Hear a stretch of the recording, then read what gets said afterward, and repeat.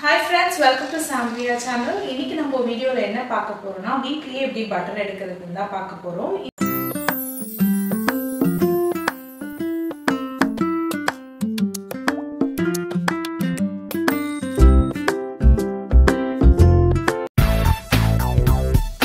நமக்கு பட்டர் எடுக்கிறதுக்கு don't milk வந்து யூஸ் ஆகாது. நம்மளுக்கு வந்து பசும்பால் தான் தேவை. பசும்பாலில் தான் மேலே வந்து நல்லா ஏடு கட்டும். அந்த ஏடு எடுத்து வச்சு தான் நம்ம க்ரீமாக சேகரிக்க போகிறோம் ஸோ இன்றைக்கி நான் யூஸ் பண்ணுறது வந்து வேதா பசும்பால் தான் யூஸ் பண்ணுறேன் ஸோ இதில் சேர்த்து வச்ச ஏடு தான் நான் வச்சுருக்கேன்.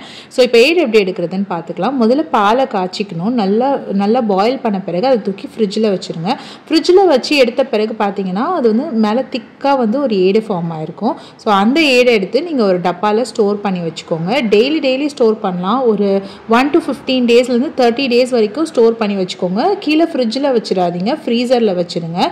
இப்போ நான் காய்ச்சி ஃப்ரிட்ஜில் வச்ச பால் எடுத்து அது மேலே இருக்கிற ஏடை மட்டும் தனியாக எடுக்கிறேன். பாருங்கள் அதோட பால் ஏடு வந்து எவ்வளோ திக்காக இருக்குன்னு பாருங்கள் இந்த மாதிரி க்ரீமியாக திக்காக இருக்கணும்.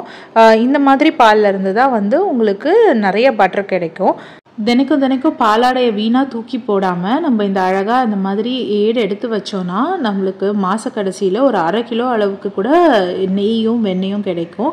நெய் இல்லைனா வெண்ணெய் கிடைக்கும். இந்த பட்டரை நீங்கள் நெய்யாக காய்ச்சிட்டிங்கன்னா உங்களுக்கு நல்லா ஒரு அரை கிலோவுக்கு நெய் கிடைக்கும். அவ்வளோதான் இதை இப்போ மூடி நான் ஸ்டோர் பண்ணி வச்சுக்க போகிறேன் இப்போ டுவெண்ட்டி டேஸாக நான் சேகரித்த பாலாடையை வந்து ஒரு பெரிய பாத்திரத்தில் கொட்டிக்கிறேன். இந்த பாத்திரத்தில் எதுக்கு நான் கொட்டுறேன்னா இப்போ நான் இதை தயிருக்கு உரக்கூத்த போகிறேன் ஏன்னா இது தயிர் ஆச்சுனா தான் நம்மளுக்கு வந்து ஒரு நல்ல பட்டர் கிடைக்கும். பட்டருக்கு நல்ல ஃப்ளேவர் கிடைக்கும். அப்படியே கூட பட்டர் எடுக்கலாம். ஆனால் அதை விட வந்து இந்த மாதிரி உரக்கூத்தி எடுத்தோன்னா அந்த பட்டர் இன்னமும் டேஸ்ட்டாக இருக்கும். ஸோ இப்போ நான் கூட ஒரு மூணு ஸ்பூன் வந்து தயிர் ஆட் பண்ணிக்கிறேன். இந்த தயிர் ஆட் பண்ணி நல்லா மிக்ஸ் பண்ணி விட்டுக்கிறேன். மிக்ஸ் பண்ணிவிட்டு கொஞ்சம் நேரம் வெளியில் வைங்க. லைக் ஒரு ஒன் ஹவர் ஒரு டூ ஹவர்ஸ் வைங்க. அதுக்கு மேலே வெளியில் வைக்காதீங்க. ஏன்னா இது ஆல்ரெடி பழைய பால் பழைய க்ரீம் அதனால நீங்கள் அதுக்கு மேலே வெளியில் வைக்கக்கூடாது. கெட்டு போக வாய்ப்பு இருக்குது அதனால ஒரு ஒன் ஆர் டூ ஹவர்ஸ் வச்சுட்டு நீங்கள் எடுத்து ஃப்ரிட்ஜுள்ள போட்டுருங்க. ஃப்ரிட்ஜும் இல்லைனா இதுக்கு மேலே நீங்கள் வந்து ஃப்ரீசரில் வைக்க வேண்டிய அவசியம் கிடையாது. சில்லர்லேயே வைக்கலாம். அதாவது கீழேயே வைக்கலாம். நீங்கள் ஃப்ரீசரில் வைக்கணும்னு அவசியம் இல்லை. இது நீங்கள் உரக்கூத்தி அது தயிரான பிறகு ரொம்ப நாள் வந்து வச்சு அதை பட்டர் எடுக்காதீங்க. நீங்கள் இன்றைக்கி வச்சிங்கன்னா நாளைக்கே வந்து அதில் பட்டர் எடுத்துருங்க. ரொம்ப நாள் வச்சிங்கன்னா அதுலேருந்து ஒரு மாதிரி ஸ்மெல் வர ஆரம்பிச்சிடும் ஏன்னா ஆல்ரெடி அது பழைய பால் தானே பழைய க்ரீம்லாம் தான் நம்ம சேர்த்து வச்சிட்ருக்கோம் அதனால் ரொம்ப நாள் நீங்கள் வைக்காதீங்க. இந்த ப்ராசஸ் வந்து உடனே உடனே பண்ணணும் இப்போ நான் இதை மூடி சில்லரில் கொண்டு போய் வச்சிடுறேன். அது கூடவே கொஞ்சம் ஐஸ் வாட்டரும் போட்டு வச்சிடுறேன். வீட்லேயே பட்டர் எடுக்கிறதுக்காக என்னென்ன பொருள் தேவை அப்படின்னு சொல்லிட்டு நான் உங்களுக்கு சொல்கிறேன் ஒரு க்ளீனான மிக்சி ஜார் வேணும். அதுக்கப்புறம் ஐஸ் வாட்டர் வாட்டர் வந்து ரொம்ப சில்லுன்னு இருக்கணும். இருந்தால் தான் வந்து ஈஸியாக வந்து பட்டர் பிரிஞ்சு வரும். அதனால நம்மளுக்கு வந்து சில் வாட்டர் வேணும். அதுக்கப்புறம் பார்த்தீங்கன்னா நம்மளோட க்ரீம் இந்த க்ரீம் பார்த்தீங்கன்னா நான் வந்து மில்க்லேருந்து ஃபிஃப்டீன் டேஸாக எடுத்து வச்ச க்ரீம் தான். மேலே இருக்கிற பாலாடையை மட்டும் எடுத்து வச்சேன்.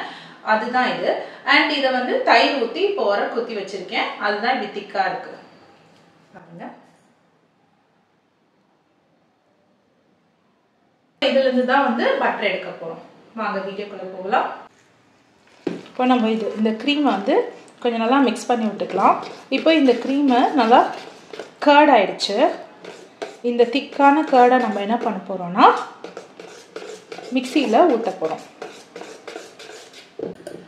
இது பாருங்கள் க்ரீம் வந்து தயிர் ஊற்றி உரக்கு ஊற்றி நம்ம வச்சுருக்கோம்.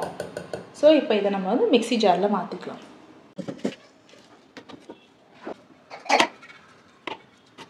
இப்போ இதை நல்லா ஊற்றி வச்சாச்சு.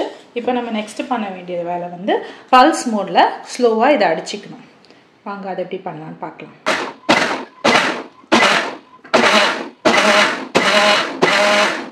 நான் ஒரு அஞ்சு தடவை பல்ஸ் மோடில் அடிச்சிட்டேன்.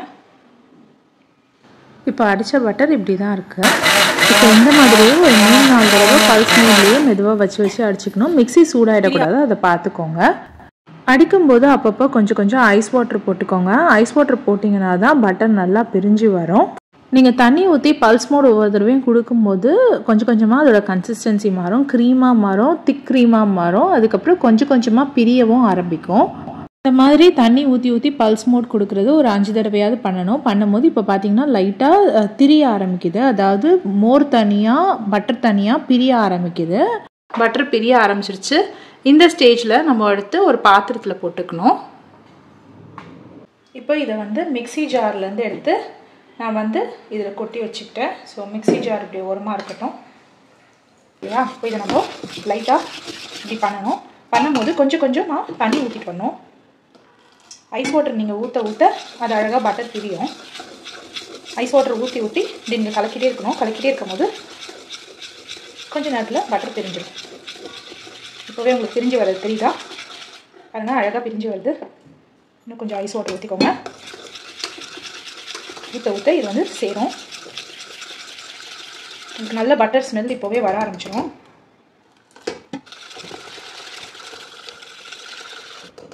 பாருங்க பட்டர் தனியாக வர ஆரம்பிக்குது பாருங்கள் இன்னும் கொஞ்சம் ஐஸ் வாட்டர் ஊற்றி இன்னும் கொஞ்ச நேரம் நீங்கள் மிக்ஸ் பண்ணினா போதும்.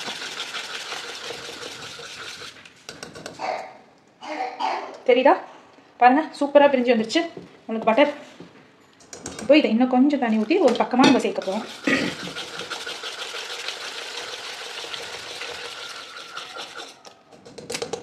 பேசிக்லி தண்ணி நல்லா சில்லுன்னு இருக்கணும். இருந்து கலக்கணும்னா இப்படி அழகாக வந்துடும் பாருங்கள் நம்மளுக்கு அழகாக பட்டர் திரி திரிஞ்சு தனித்தனியாக வந்துருச்சு பாருங்கள் இப்போ பார்த்தீங்கன்னா இந்த பட்டர் தனியாக பிரிஞ்சிச்சு இப்போ நம்ம இந்த பட்டரை இதில் தனியாக எடுக்க போகிறோம்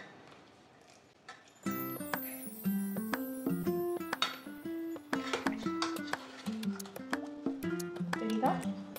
அழகாக வருதா பட்டர் உங்களுக்கு செம்ம ஸ்மெல்லாக இருக்குங்க. பட்டர் ஸ்மெல் அப்படியே எனக்கு க்ளியராக ஸ்மெல் வந்து அப்படியே ஃபீல் பண்ண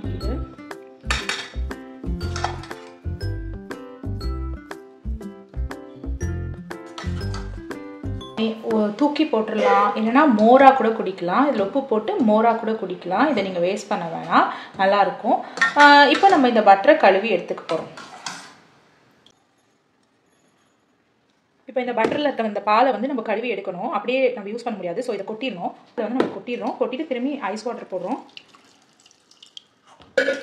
ஐஸ் வாட்டர் போட்டு திரும்பியும் நல்லா கழுவி எடுத்துக்கிறோம் கழுவிட்டு நீங்கள் கழுவி எடுக்கும் போதே உங்களுக்கு தெரியும். அழகாக வந்து உங்கள் கையில் ஒரு பால் மாதிரி வெண்ணெய் வந்துடும் பாருங்கள் இவ்வளோ சூப்பராக வந்திருக்குன்னு. இது வெறும் ஒரு இருபது நாள் பாலில் தான் எனக்கு இந்த வெண்ணெய் கிடச்சிருக்கு. எப்படி க்ரீமாக இருந்தது? வெறும் வெண்ணெயாக திரண்டு வந்துருச்சு பாருங்கள் ஸோ இதை வந்து நம்ம ஐஸ் வாட்டரில் தான் வாஷ் பண்ணணும். ஸோ என்கிட்ட வாட்டர் அவ்வளோ தான் இருக்குது அதனால் ரொம்ப வாஷ் பண்ண முடியும் பார்த்தா நம்மளுக்கு அழகாக க்ரீமி க்ரீமி பட்டர் கிடச்சிருச்சு. இப்போ பாரு இந்த பட்டரை நம்ம அழகாக ஒரு டிஃபன் பாக்ஸில் வச்சு ஸ்டோர் பண்ணி வச்சுக்கலாம். அவ்வளோதான் நம்மளோட பட்டர் ஈஸியாக ரெடி ஆயிடுச்சு. பாருங்கள் பட்டர் ரெடி ஆயிடுச்சு. அதில் வந்து என் பொண்ணு வந்து இப்போ வாட்டர் போட்டு போயிருக்கா. அதனால தான் அந்த மூணு கை. அவங்க தான் வந்து இப்போ விளையாடிட்டு ஓட்ட போட்டுட்டு போயிருக்காங்க. இப்போ மேடம் வராங்க. ஸ்கூலுக்கு லீவ் போட்டுட்டு இங்கே சுற்றிட்டு இருக்காங்க. ஒரே கோல்டு மேடம்க்கு அதனால இன்னைக்கு ஸ்கூலுக்கு அனுப்பல. அதான் இங்கே இருக்காங்க. ஸோ அவங்க போட்ட வாட்டர் தான் இது.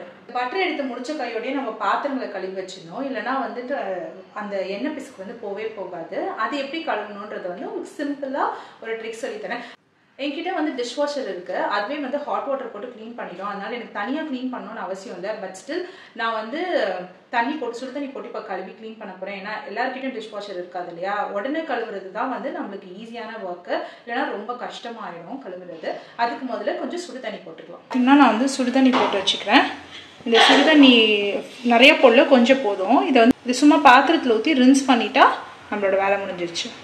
அவ்வளோதான் இப்போ இந்த பாத்திரங்கள்லாம் வச்சுக்கலாம். இதுலலாம் பட்டர் பிசுக்கு ரொம்ப ஜாஸ்தியாக இருக்குது இது மேலே லைட்டாக சுடு தண்ணி ஊற்றிக்கிறேன் இது வந்து ஃபுல் வாஷ் கிடையாது. சும்மா நான் ரின்ஸ் மட்டும் தான் பண்ணிக்கிறேன். அதாவது தண்ணி போட்டு அந்த எண்ணெய் பிசுக்கை மட்டும் எடுத்துடுறேன். சுடு தண்ணியை போட்டு.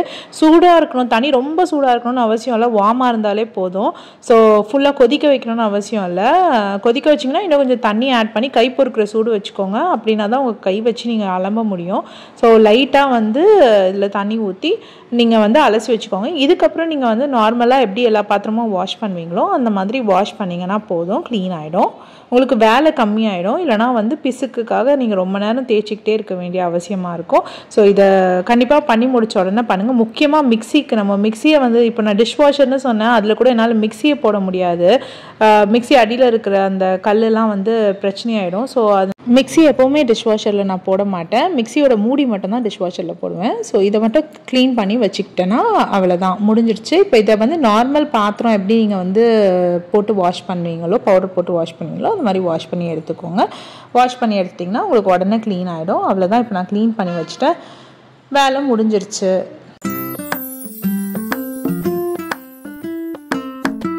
இதோடு நம்ம வந்து பட்டர் எடுக்கிற வீடியோ முடிஞ்சிருச்சு. வெற்றிகரமாக நம்ம வந்து பட்டர் எடுத்தாச்சு.